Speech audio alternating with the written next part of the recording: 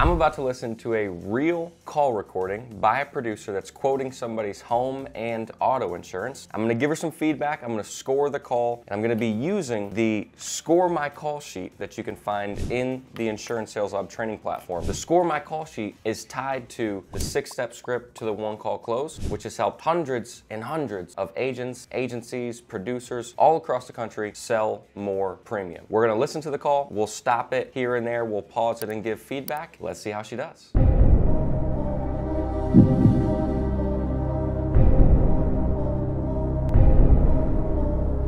Hello? Hey, how are you? Hey, doing good. Good. Well, hey, I'm just reaching out to hear from you. I know we had quoted you a while back, but we've had some rates change, and I wanted to reach out and see if we could get you an updated insurance quote. Awesome. Let's hear it. Yeah. All right, so right off the bat, I really, really like how she started this call. The only feedback I would have here is just to end that hook with a question and roll right into the eligibility questions. Is this still the same address? Is this still your date of birth? Are these people still on the policy? Other than that, great start so far. Well, how have you been? Oh, good. It's good. It's been excessively hot, but uh, we've been fine. It has been hot, hasn't it? My goodness. And what kind of vehicle is it that you're driving nowadays? Still have the same big two vehicles, the Ford Expedition and Mercedes. What year is that Mercedes? It's the 2017. And you said it's a the E300? Yes, E300. Yes. Perfect. And what year is that Expedition? Because I didn't see I had that one on here. Oh, yeah. Uh, 2019. 2019, awesome.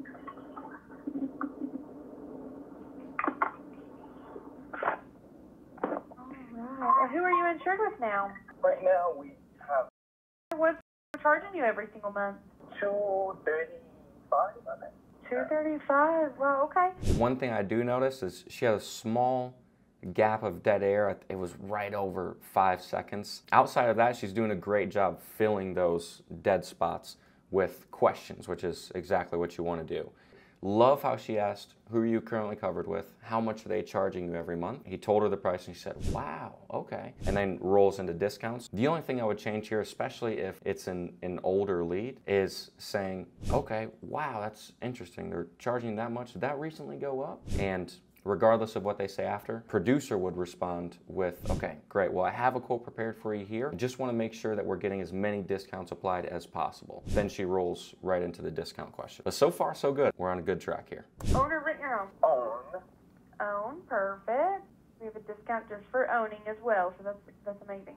And full coverage on both the vehicles? yes. Perfect. And is it still just you and Sarah as the drivers, or is there anybody else? This, this us, yeah.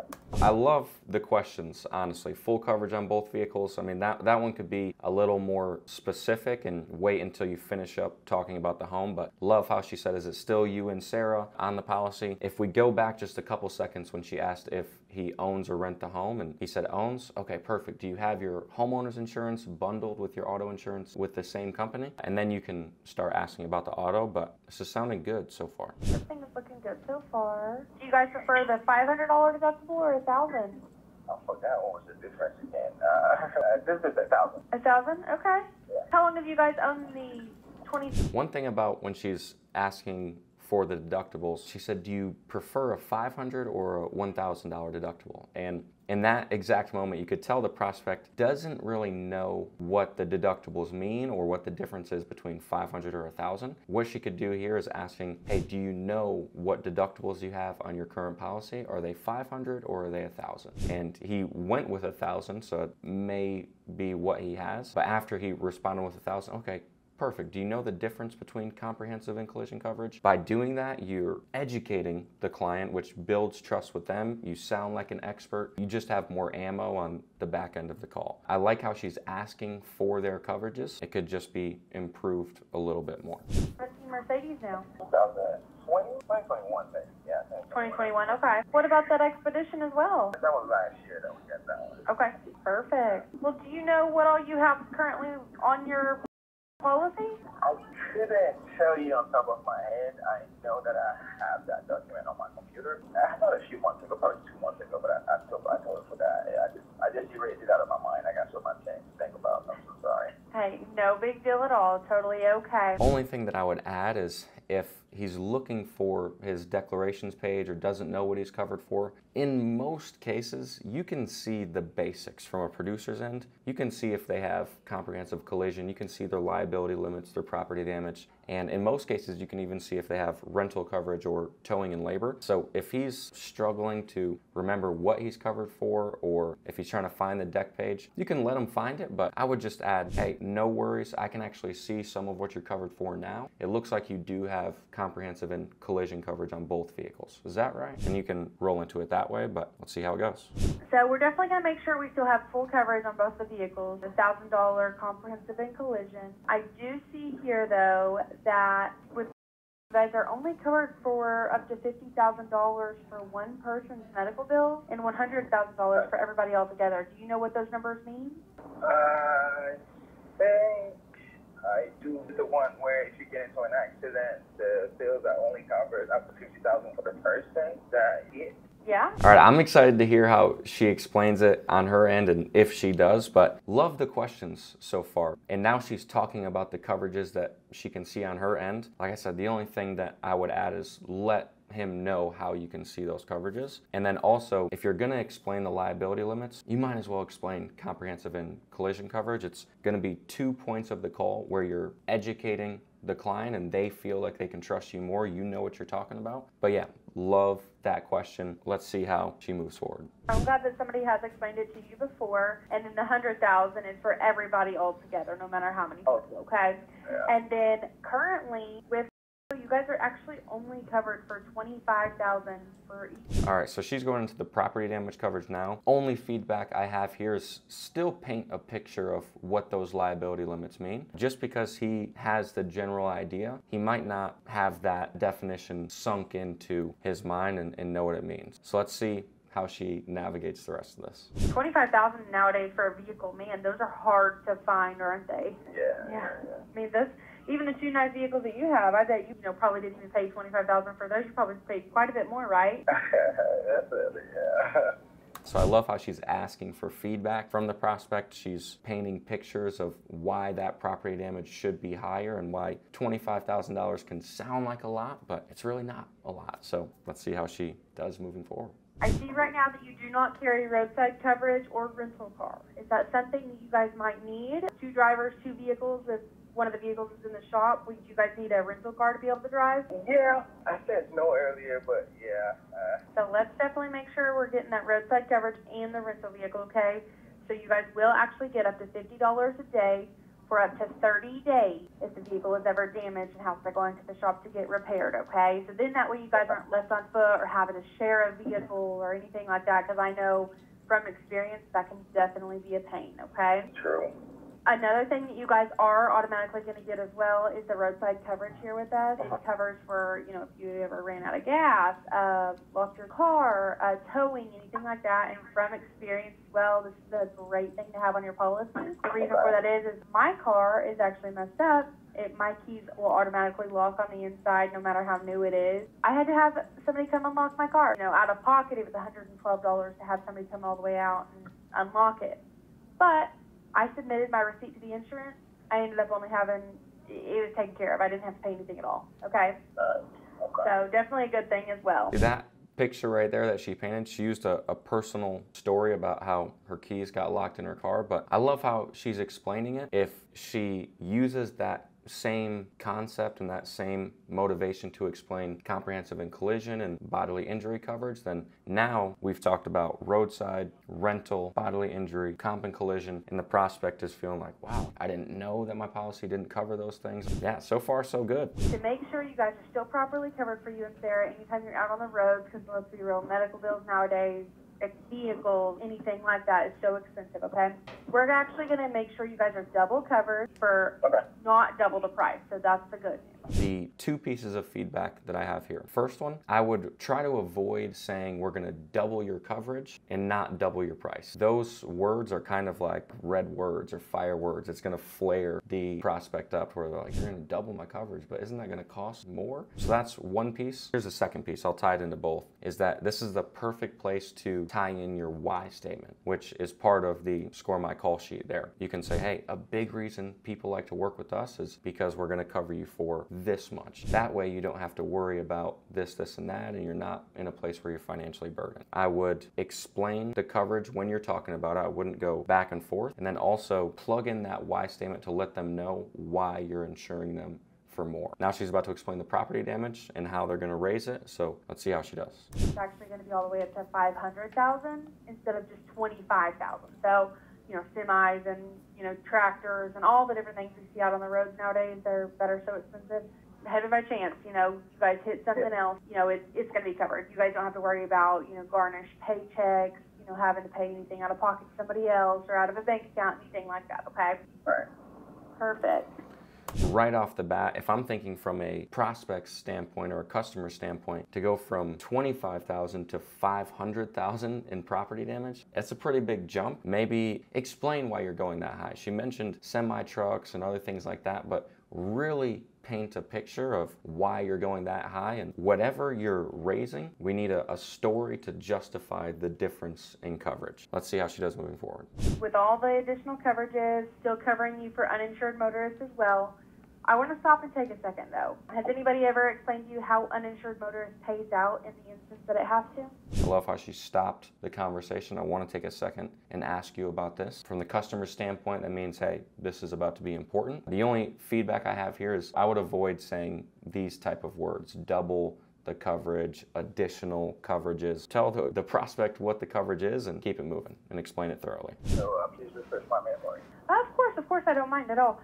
Uh, so uninsured motorist actually pays out for medical bills or missed Uh-huh. time from work for you and Sarah if you guys are completely not at fault. I love how she's bringing his wife into the explanation here. It's going to pay for medical bills or time off of work for you and Sarah. You know, this is like sales 101 almost, where once you get the spouse's name or the kid's name, if you use those in the conversation, it's going to build rapport without, you know, having to ask them how their day was or what they ate for lunch yesterday. Treating them like you already know them. We're friends. I'm here to help you. Let's get this taken care of. So, love that. If you guys are even 1% at fault, uninsured motorists will not pay out, okay? You guys have to make sure you're fully not at fault if that was ever to have to be paid out, okay? Okay. But uh, I want to make sure. Does that make sense? Um, I know you guys have had that on there for a long time. Just want to make sure you still want to keep that on there because it is an additional $166 every six months on this policy.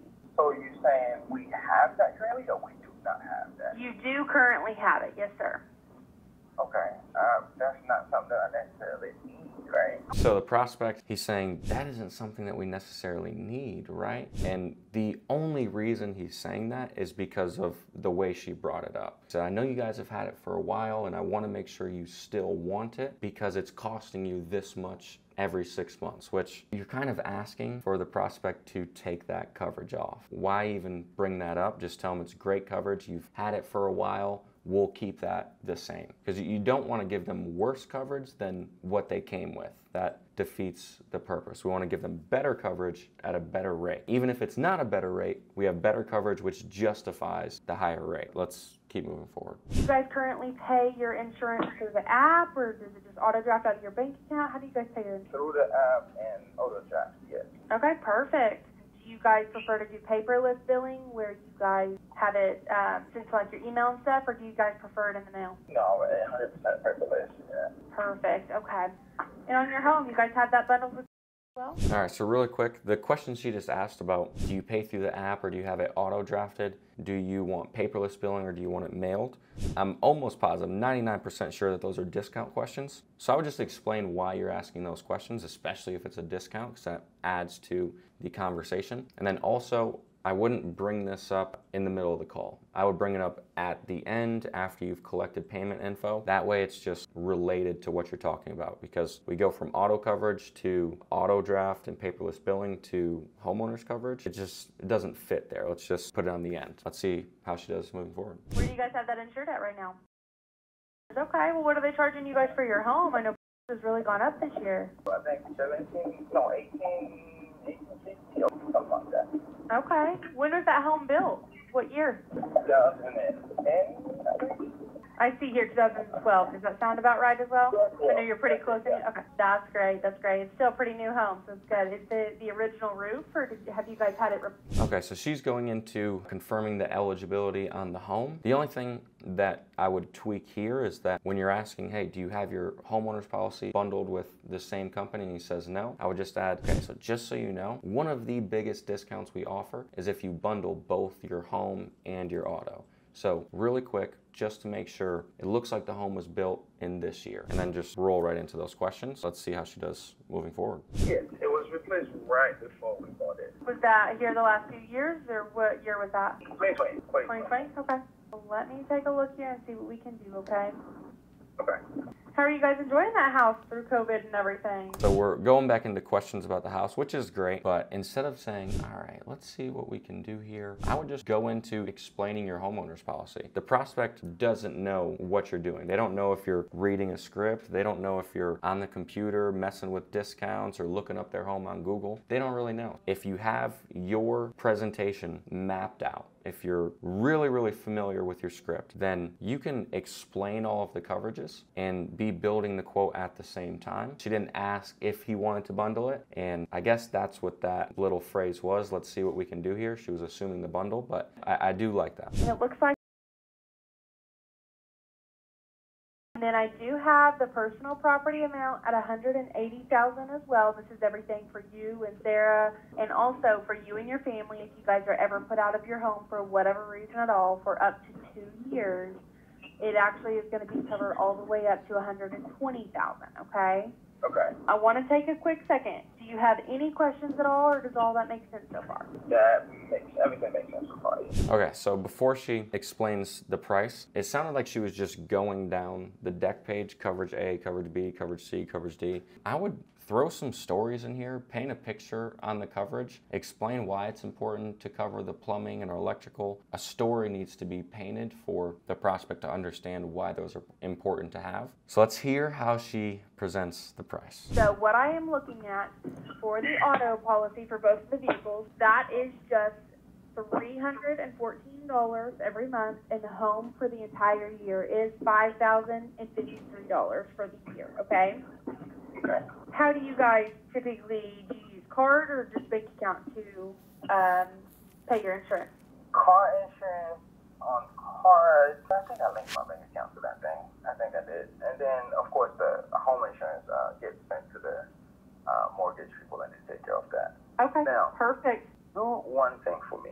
Me a higher deductible. Just off his last question there, can you give me a higher deductible? That means the price may be a little high, especially when presenting the price here. Present the price and then ask for the sale right after. No pause, no break, no questions. Here's the price. Tell them how to get started and split those prices up. Because now he's thinking about a bunch of different things. Collect the card for the auto, and then right after that, who do you bank with there? Perfect. And then I need the loan number. Do you have your declarations page? Do you have the loan number? And you just isolate them one at a time and kind of hold their hand and walk them to the sale. His objection was, let me see one thing. Can we raise the deductibles to see what the quote would be? Let's see how she handles that. On the roof. Okay. Are you thinking like a two percent deductible? So make it to where um, I'm saying if something happens to the roof, I don't want my insurance to pay. I'll pay out of pocket. Okay. So you want the highest possible deductible on the roof? Yes. If the prospect is literally asking you for the highest deductible possible, maybe you can cave in there, but I would push back just a little more because a lot of times on the initial call, if she ends up closing this person and then two years down the road he makes a claim and forgets that he got the highest deductible and then he gets super upset because we let him take the highest deductible. So i would just push back a little bit on that. Also explain to him really well hey i just want to make sure you want the highest deductible possible? Yeah i do. Okay and that's going to be $10000 if something happens to your roof is that what you're comfortable with? Yeah, I'm comfortable with that. All right, cool. We can do that. So now it looks like he's about to ask about the auto. Let's see how she handles it. And the good news about these policies together, if you do bundle them with us, you actually have what is called a one deductible occurrence. So, heaven forbid, there's like a major hailstorm that does come through, and you end up do having to replace that roof because you know back in 2021 there was a pretty serious one that came through, like the Moore Norman-ish area. Say something like that did happen, and you did end up having to get it replaced, and say your vehicles got damaged as well. The good news about that is, is you would just have to pay your one deductible, which would just be your home, and you would actually get your vehicle fixed as well. You wouldn't have to pay the deductible for them. Okay. She's talking about the hailstorms, people's roofs being replaced. This is stuff to bring up when they're asking for higher deductibles. And then you might be more inclined to go with the lower deductible, which raises the premium on the policy, helps the client and the agent because you get all the premium. Then, two years down the road, if they make a claim, they're not upset. I would just take that story that she just told, throw it behind that question of can we raise the deductibles, and we probably wouldn't have to worry about it moving forward. Let's see how the rest of this call goes. You would only have to pay your home deductible, and that would cover to fix your roof on your home or any sort of damages at your home and your vehicle. Okay.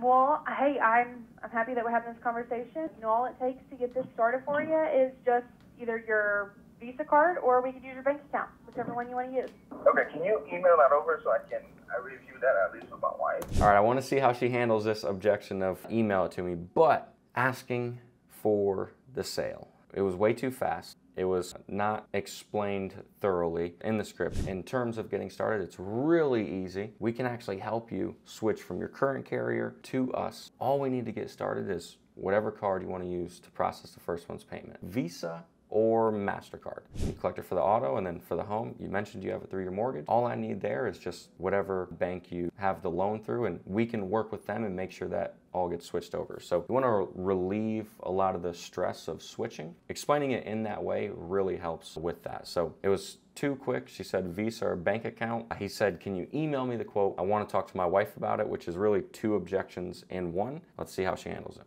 That's possible. Yeah, of course. So let me take a quick look here. Let me get this sent over to you, okay? Okay. Well, if you don't mind, do you have access to that email right now while we're on the phone? I do. Yes. Great job. There's a great thing and a really, really big missed opportunity. So, and I thought she was going to do it the way she asked. She said, Hey, I'm going to send the quote over to you right now. What's the, the best email? The only thing I would change there, which is uh, really small, is whatever email you do have for them, just confirm that if you have it. But send them the quote. And she said, Okay, do you have access to that email right now? He's like, Yeah. Okay, perfect. I just want to make sure that you do get that email. That way you can talk it over with her. This right here is a really, really key moment in handling this objection. Have them pull up the quote with you on the phone. The easiest way to do that, which she already covered the first half, hey, do you have access to that email? right now. I just want to make sure you get it. Yeah, I do have access. Perfect. Go ahead and pull that quote up for me so I can make sure it works on your end. And then I also just want to point out a couple things that you can go over with your wife. That way you guys can make an educated decision. So let me know when you see that email. That's what she has to do. Have him sell himself and then ask for the business again. So she's doing great. Let's see how she does at the end of this call. Let me know whenever you receive that. And then um, also, I want to just make sure uh, that you do know, you know, on the home, of course, it doesn't cover flood insurance, doesn't cover earthquake. Those are separate types of policies. The other thing that it does not cover is uh-huh. if something happens to you. Is there? I know you said it's paid through the mortgage. Would your wife be able to pay the the mortgage all by herself, or do you have some sort of life insurance outside of work that covers that? Mmm. I love the way that she brought up life insurance. I don't like the three things that were stated right before that because it sounds like she starts talking about what it doesn't cover. Like it doesn't cover earthquake, it doesn't cover flood. You have to get those separately. Yeah, I, I, would just scratch all those questions. I love the transition, it's, it's unique, but I would just scratch the questions before that about what's not covered. Let's see how this life convo goes. He has a really strong plan that was put in place by me to know what to do, so I hope she can follow that. Nice, nice. Hey, you're you're trying to take care of her for sure. What's the plan? And this is where you can be personable with the prospect, right? She's like, "Hey, do you have life insurance for your wife?" I have a really strong plan that if she follows, she'll be good. Okay, interesting. That's awesome that you do that. What's the plan? And then you can kind of let them explain it, and you can pick holes in that plan. Let them know why life insurance is important. Let's see how she does. What about her? She has her life insurance somewhere as well. I think so. I think so. Yeah. Okay. Oh, Uh, okay. Yeah. If I- yeah. Yes. Yep, that's Yeah. me. Uh, got it, got it, got it, got it, got it. Okay, let's see. It will be, okay, I just have to, okay, I just have to click view. Okay, perfect. All right. Yes, sir. Oh man, he has the quote pulled up. He's looking at the quote on his own. You can hear that on your end. So just say, hey, really quick, pull up the quote. I want to run through a couple things. That way, you and your wife can make an educated decision. Man, so close. Sounds like she's wrapping up the call. Let's just double check and, and make sure. Have any other questions in the meantime before we hop off the phone? Oh, no, uh, it was really helpful. Thank you so much for explaining every terms again.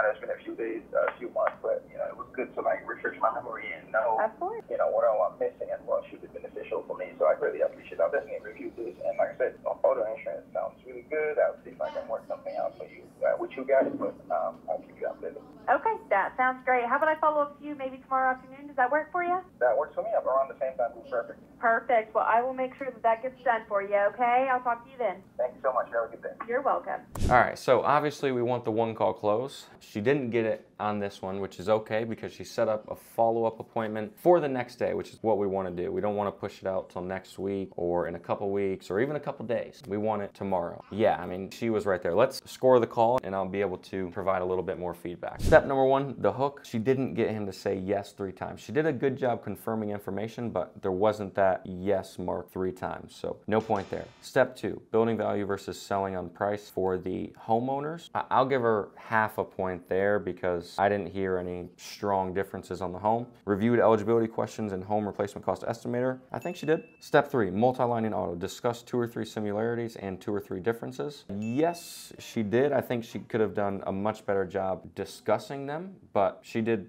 bring up similarities and differences. Positive response to your stories. Wow, that's great that you guys do that. Yeah, I think she did when she was explaining roadside and, and rentals. Gave our why statement. She did not. And there was a few times, a handful of times throughout the call where she could have weaved it in there and it would have made her explanations much more powerful. Missed opportunity there. Cost presentation. Ran through uh, all quoting platforms before sharing the price. Not sure how many platforms she has access to. We'll give her the point. We'll give her the point. She said, let's see what we can do here a couple times. Let's see. Didn't pause after price reveal but went straight into asking for the sale. No, she didn't do that. No check there. Asking for the sale, asked for payment information, Visa or MasterCard. Ah, she said Visa or bank account. I'm sorry, but that doesn't count. No point. Overcame closing objection by reviewing the quote I emailed and asked for the sale again.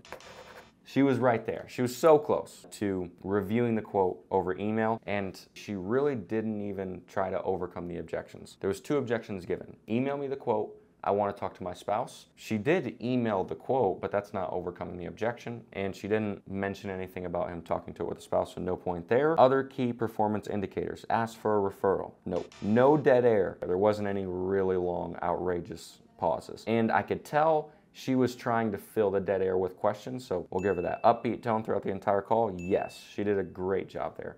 Discussed life insurance?